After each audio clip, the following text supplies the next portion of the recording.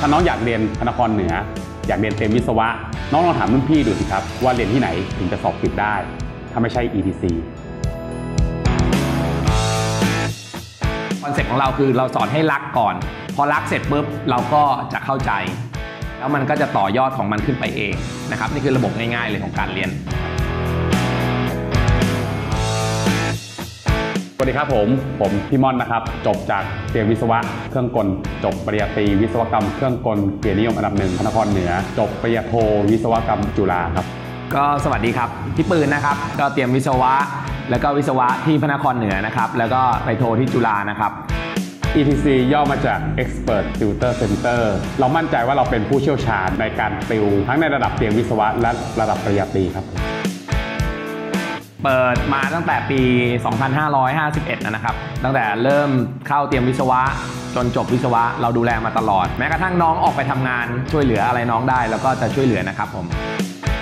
เรามั่นใจเราเป็นยืนหนึ่งในการติวที่พระนครเหนือ เรามีรูปแบบสไตล์การสอนที่เป็นกันเอง เรามีเทคโนโลยี เรามีสื่อการเรียนการสอนที่พร้อมทุกรูปแบบทั้งการเรียนสดการเรียนออนไลน์ และสามารถตอบทุกคำถามที่น้องสงสัยได้ คุณสมบัติของเราเนี่ยก็คือมีสถิติเป็นตัวรับรองนะครับแล้วก็มีน้องที่สอบติดบางปีเกือบร้อยเปอร์เซ็นต์นะครับแล้วก็ด้วยระบบของเราทั้งหมดที่เราจัดทำขึ้นมา เพื่อน้องๆทุกคนครับเราทำด้วยใจครับผม ทุกคนเหมาะหมด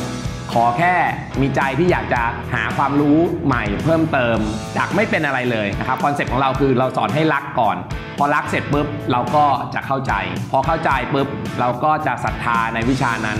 แล้วมันก็จะต่อยอดของมันขึ้นไปเอง เราจะสอนคณิตศาสตร์ตั้งแต่ระดับมัธยม จนถึงระดับปริญญาตรีฟิสิกส์เคมี ภาษาอังกฤษ รวมถึงวิชาช่าง ไม่ว่าจะเป็นช่างไฟฟ้าช่างเครื่องกลช่างโยธา วิชาเฉพาะทาง รวมถึงวิชาคอมพิวเตอร์ programming ด้วยพี่บิ๊กเป็นผู้เชี่ยวชาญทางด้านฟิสิกส์ผู้เชี่ยวชาญทางด้านวิศวกรรมโยธาพี่บิ๊กก็จบ CC โยธารุ่น 35 วิศวะโยธาที่พระนครเหนือ ต่อปริญญาโท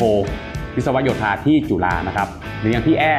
พี่แอจบปชเตรีวิศวะสาขาเครื่องกลนะครับ จบปริญญาตรีวิศวกรรมการเชื่อม จบปริญญาโท TGTS ที่พระนครเหนือนะครับ พี่แอจะเป็นคนที่เป็นกันเองกับเด็ก คุยเล่นแย่เล่นแซวเล่นตลอดนะครับ พี่แก้วนะครับ จบปตรีที่พระนครเหนือนะครับ คณะวิทยาศาสตร์นะครับปิโตที่จุฬานะครับ ต่อโทนะครับ ตอนนี้พี่แก้วก็เรียนเอกกลับมาเรียนเอกที่พระนครเหนือนะครับพี่แก้วจะดูเด็กดูแลเด็กดีมาก แล้วก็ส่วนคนทีสี่ 4 ก็จะเป็นพี่นานะครับพี่นาก็จะเป็นเด็กที่จบเตรียมวิศวะที่นี่นะครับ แล้วก็ปอตีก็เรียนวิศวะเครื่องกลที่นี่นะครับ แล้วก็ปอโทไปจบที่บางมดนะครับ เป็นวิศวกรรมการเชื่อม บรรยากาศเฮฮารับประกันได้ว่า EDC ไม่มีห้องไหนที่ไม่เฮฮาถ้าเราไม่ได้อยู่แบบพี่น้องจริง เราไม่ได้มาอยู่ยาวถึงขนาดนี้หรอกครับนะเรามั่นใจในในในของเราแน่นอนนะครับ ว่าเราดูแลดี อันนี้ข้อมูลจริงที่เราไม่สามารถลบล้างได้ ก็คือเรามียอดคนสอบเข้า คนที่เรียนกับเรามากที่สุด และคนที่สอบติดกับเรามากที่สุด และมีสถิติการบอกต่อกันมากที่สุด ถ้าน้องอยากเรียนพระนครเหนือ อยากเรียนเตรียมวิศวะ น้องลองถามรุ่นพี่ดูสิครับ ว่าเรียนที่ไหนถึงจะสอบติดได้ ถ้าไม่ใช่ ETC